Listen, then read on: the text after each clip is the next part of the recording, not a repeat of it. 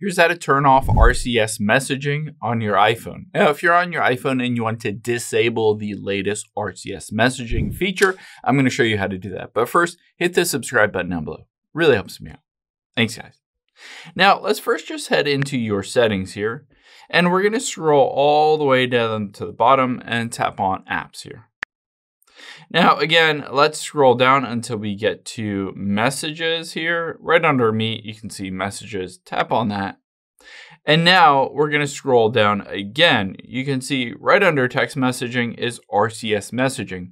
If you don't see this feature directly on here, then essentially you've either not upgraded to iOS 18 or you have a carrier that doesn't support RCS messaging in the first place. But to turn it off, we'll just tap on it and toggle it off.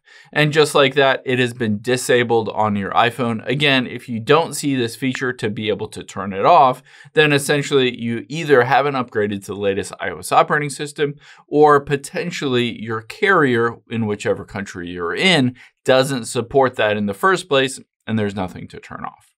I hope this helps. If it did, hit the like button down below and leave a comment if you have any questions. Thanks, guys.